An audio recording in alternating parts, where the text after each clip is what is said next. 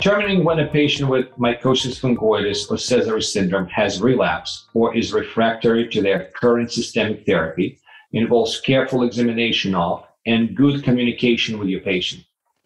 The appearance of skin manifestations of the disease and symptoms are usually clear signals that a particular treatment has stopped working.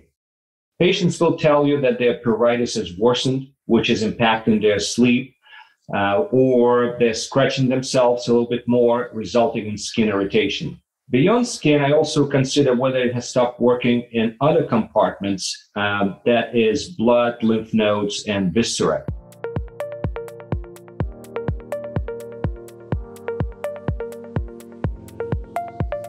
The goal of therapy is to slow progression and manage symptoms. Patients with advanced mycosis fungoides or Sézary syndrome are more symptomatic and have more aggressive disease than those with early stage disease.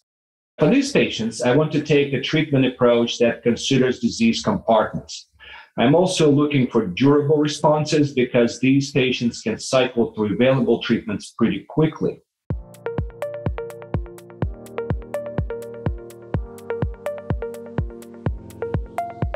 Although we should view all compartments with the context of full picture of the disease, we know that increasing blood burden is associated with poorer prognosis for both mycosis fungoides and Sézary syndrome. Increasing blood tumor burden has previously been linked to worsening overall survival and disease specific survival, as well as increased risk of disease progression. My goal is to treat patients with blood involvement aggressively. The NCCN guidelines provide recommendations for treating patients with blood involvement.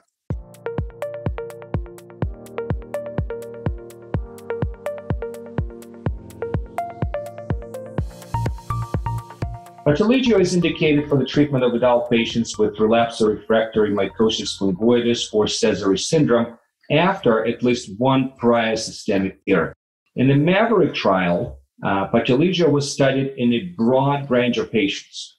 Two cutaneous T cell lymphoma subtypes were represented in the trial, with 56% of patients having mycosis fungoides and 44% of patients having Sézary syndrome. Patients with stage 1B to stage 4 were included in the trial. Patients with all blood classification, that is B0, B1, and B2, were enrolled and may be appropriate for treatment with Poteligeo. A wide range of ages were represented in the study with patients ranging in age from 25 to 101. Finally, subjects in the study had been previously treated with a wide variety of ages. I encourage physicians to look at the characteristics of patients included in the MAVORIC trial. Indication Poteligeo mogamulizumab KPKC injection for intravenous infusion is indicated for the treatment of adult patients with relapsed or refractory mycosis fungoides, MF, or Sézary syndrome, SS, after at least one prior systemic therapy. Important safety information, warnings, and precautions. Dermatologic toxicity. Monitor patients for rash throughout the course of treatment. For patients who experienced dermatologic toxicity in Trial 1, the median time to onset was 15 weeks, with 25% of cases occurring after 31 weeks. Interrupt Poteligeo for moderate or severe rash, grades 2 or 3. Permanently discontinue Poteligeo for life-threatening grade 4 rash or for any Stevens-Johnson syndrome SJS or toxic epidermal necrolysis. 10. Infusion reactions. Most infusion reactions occur during or shortly after the first infusion. Infusion reactions can also occur with subsequent infusions. Monitor patients closely for signs and symptoms of infusion reactions and interrupt the infusion for any grade reaction and treat promptly. Permanently discontinue Poteligeo for any life-threatening grade 4 infusion reaction. Infections.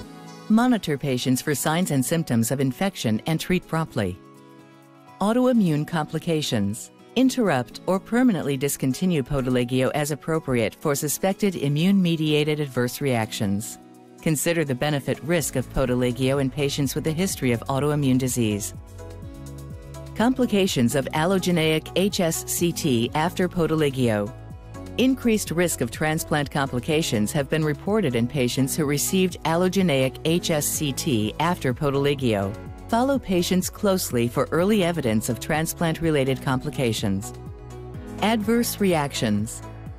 The most common adverse reactions reported in greater than or equal to 10% of patients with poteligeo in the clinical trial were rash, including drug eruption, 35%, infusion reaction, 33%, fatigue, 31%, diarrhea, 28%, drug eruption, 24%, upper respiratory tract infection, 22%, musculoskeletal pain, 22%, skin infection, 19%, pyrexia, 17%, edema, 16%, nausea, 16%, headache, 14%, thrombocytopenia, 14%, constipation, 13%, anemia, 12%, mucositis, 12%, cough, 11%, and hypertension, 10%.